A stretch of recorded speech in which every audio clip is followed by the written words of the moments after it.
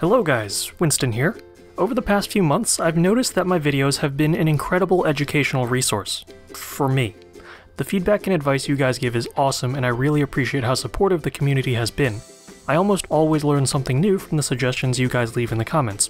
One project I really wanted to revisit was the signs that I made in Pine a few weeks ago.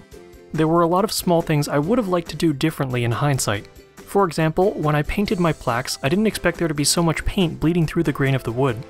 I'd previously made a sign out of hardwood and used the same paint and sand technique without any major issues, so when I switched to pine I was unprepared for the less precise and messier results.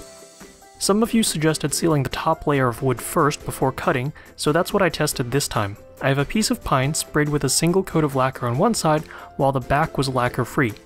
I carved the same test pattern on both sides and applied a generous coat of bright red paint.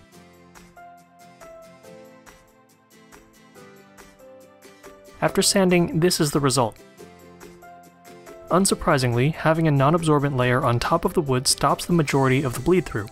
It's still not 100% effective since some paint can seep through the grain laterally from the faces exposed in the pocketing operation, but for all practical purposes, my problems with paint are solved. Some of you have asked before what I use to hold 8th inch end mills in my router since both the Makita and the DeWalt come with only quarter inch collets, and my answer has always been a reduction bushing. This is a cheap and router agnostic solution for tool holding, but I always wondered whether or not it was the best option. I generally don't care about precision in the thousandths, but I thought it would be interesting to know if there was a measurable difference in runout between using a bushing versus a custom third-party collet. Thanks to the support from my handful of patrons, I decided to purchase both an 8th inch DeWalt and Makita collet from Elaire. You guys make it so that I don't have to think twice about undertaking experiments like this, so thank you. Shameless Patreon plug aside, here's how my testing went down. First, I'd measure the runout of each of the stock quarter inch collets in my DeWalt and Makita routers. Then I'd swap out for the 8th inch Elaire collets, and lastly I'd try using the reduction bushing in a stock quarter inch collet. Using some long reach end mills since I lack precision ground pins of the correct diameter, I'd be measuring runout 1 inch below the spindle nut against the end mill's shanks. And just because I could, I decided to also measure the runout of my DC Quiet Cut spindle and the Nomad spindle. It should be noted that I'm assuming that my end mills are very close to dead straight, and my sample size is one collet of each type, so take these results with a grain of salt. My results are as follows. The Makita router with a stock quarter inch collet has a radial deviation of 1.2 thousandths of an inch, which means that in a pocketing operation you could see a theoretical error magnitude of about 2.5 thou. Switching to Elaire's 8th inch collet, I recorded a deviation of 1.5 thou. That's basically within the noise of my measurements since I'm using an analog dial indicator. A bit of dust packed against the conical bearing surface of the collet would cause just as much runout.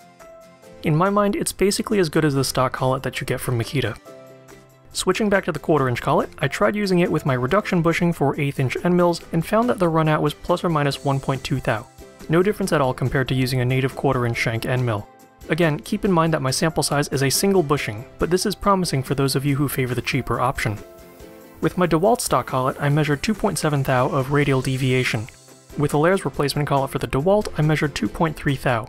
At this point, I'm not sure if the runout is due to the collet or inherent in the router's construction, but since I know Allaire is capable of making collets to tighter tolerances, I'm leaning towards the latter explanation.